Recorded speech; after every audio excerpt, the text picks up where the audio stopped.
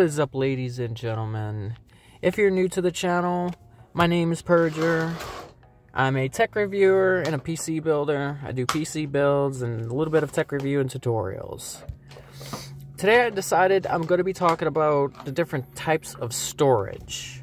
The reason why is I recently purchased a 3-in-1 SSD expansion card for my PC because I'm running out of storage. And being a YouTuber, your, your files build up quick. So I went with a 3-in-1, but then I discovered an issue, so decided later to go to a dual instead. If you've been with the channel, the last video about SSD expansion, I got this IJ Hyper M.2 expansion that holds four NVMe drives. But I also had to enable bifurcation so that it, the board can communicate correctly. If you want to know more about that, check out the, the video. I'll link it in the description. But to make it where I don't need to go into the motherboard settings and tell the device how to operate, I've gone with a dual M.2 SSD expansion board that uses a SATA connection for the second M.2, which is a little slower. But that will be the trade-off so that I can get extra storage onto my desktop without enabling any kind of special motherboard features that most motherboards under $400 wouldn't have that feature to enable bifurcation. At least the ones I've seen doesn't. The problem is, my motherboard does offer bifurcation, but that feature is only available on the top PCIe slot. And that's where my GPU is. And I can't put it at the bottom because it will suffocate and overheat. There is not enough clearance at the bottom of the case.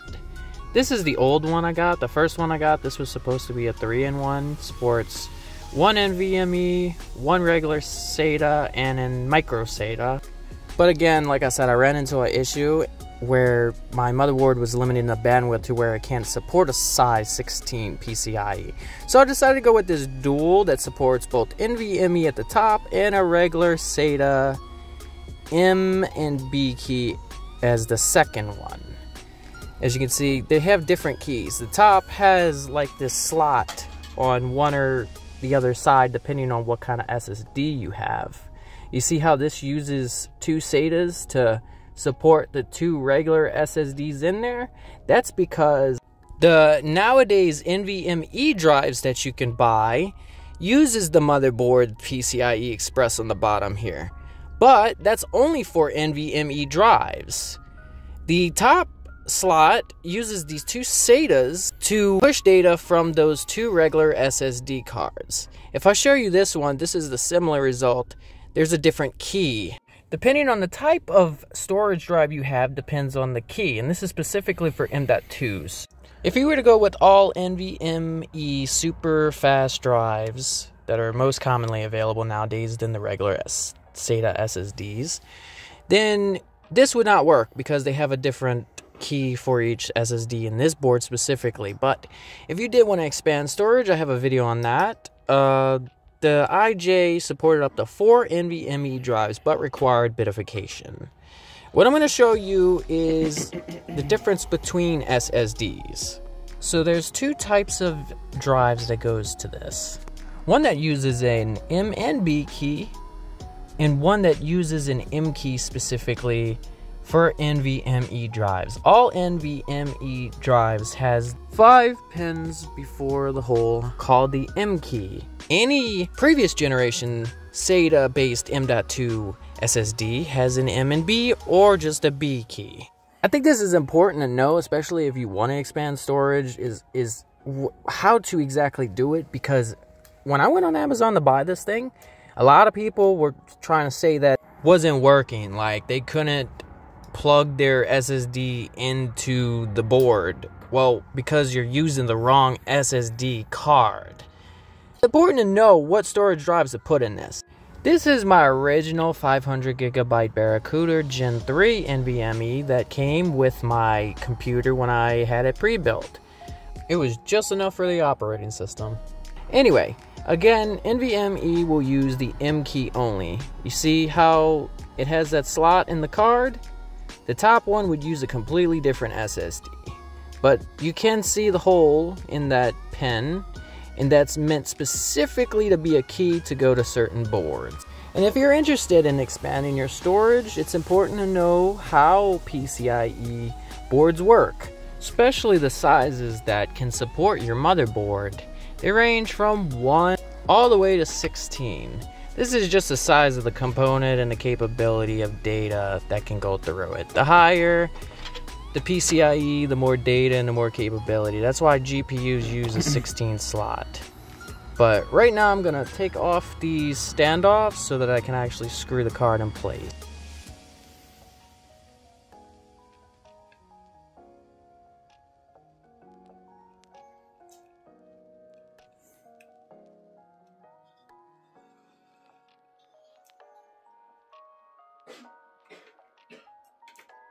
The way you get the SSDs to stand is a little weird.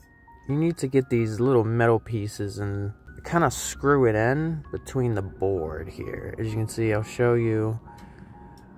I'm screwing it tight so that I can get it in between the board. And so far, looks pretty good.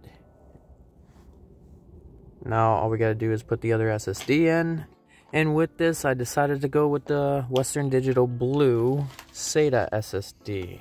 It's an M.2, but it's a slower SSD than the NVMe base.